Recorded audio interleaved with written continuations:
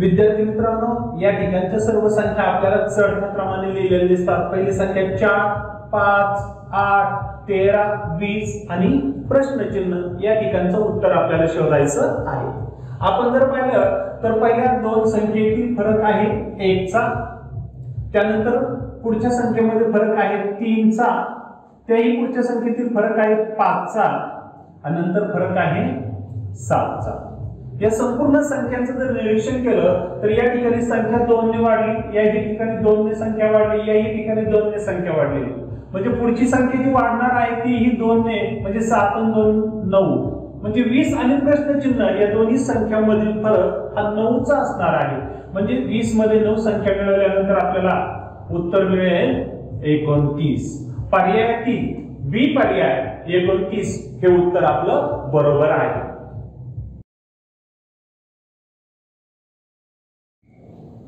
विद्यार्थी मित्रांनो या ठिकाणच्या संख्या जर पाहिल्या आपण पहिली संख्या आहे अकरा दुसरी संख्या आहे अठ्ठावीस तिसरी संख्या सत्तेचाळीस नंतर सत्तर आणि शेवटी प्रश्नचिन्ह. संपूर्ण या संख्येचं निरीक्षण केलं आपण यातील फरक काढला तर दोन्ही संख्यांमधील फरक आहे सतराचा.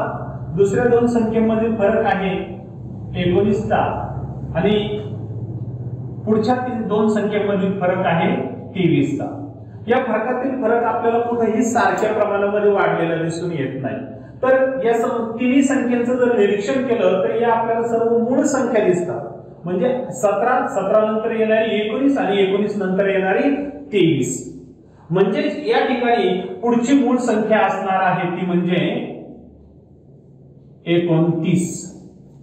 म्हणजेच आपल्याला या दोन्ही संख्यांची बेरीज करता जे उत्तर मिळणार आहे ते नव्याण्णव. आणि आपलं पर्यायातील सी पर्याय या ठिकाणी दिलेल्या नव्याण्णव हे उत्तर त्या ठिकाणी बरोबर असणार आहे.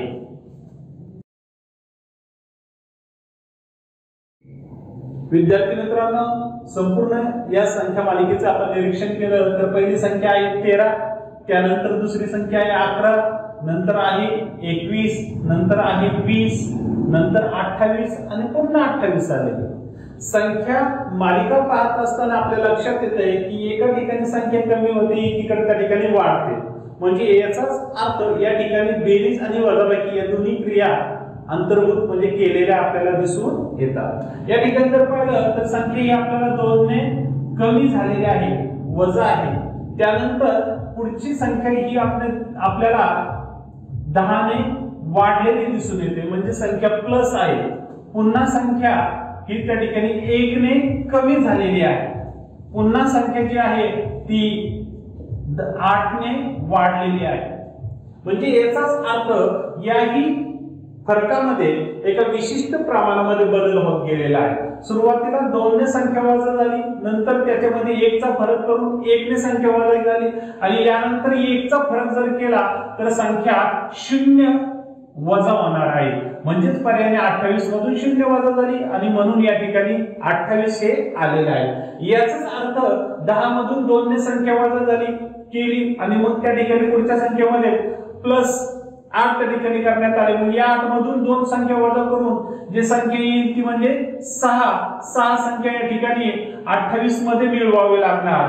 मग या ठिकाणी अठ्ठावीसमध्ये सहा जर संख्या मिळवली तर उत्तर येत आहे चौतीस. म्हणजे या प्रश्नचिन्हाच्या जागी मिळणार जे उत्तर आहे ए पर्याय हे चौतीस उत्तर आपलं बरोबर आहे.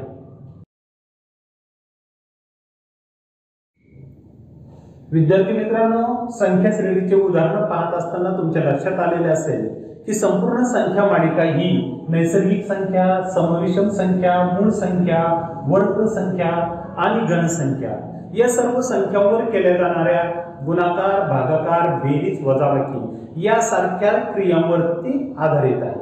यापैकी काही क्रिया ह्या एकाच वेळेस एका संख्या मालिकेमध्ये दोनदा येतात. जसं की एकदा बेरीज एका संख्येशी केली जाते तर पुढच्या संख्येशी लगेच वजाबाकी. अशा पद्धतीने ह्या संपूर्ण क्रिया त्या ठिकाणी केल्या जातात.